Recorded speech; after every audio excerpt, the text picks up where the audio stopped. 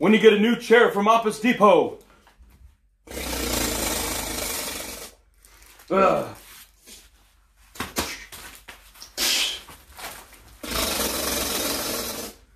Ah.